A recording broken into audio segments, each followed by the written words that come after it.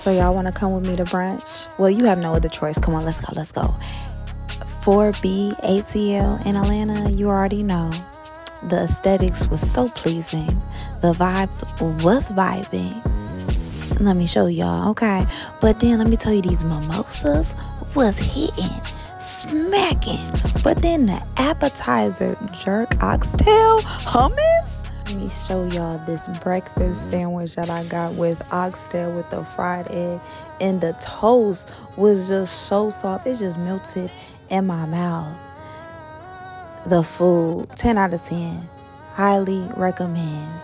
Highly recommend. And that is how we ended our brunch for today. Hey, y'all be blessed. And you know the rest.